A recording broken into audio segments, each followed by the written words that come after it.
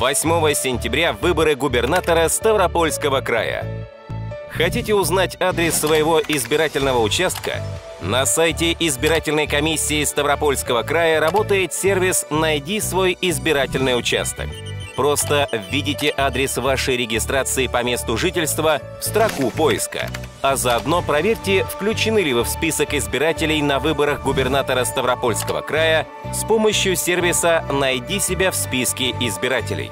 Больше информации на официальном сайте избирательной комиссии Ставропольского края и в мобильном приложении «Выборы 26». Телефон горячей линии 8 652 35 61 84.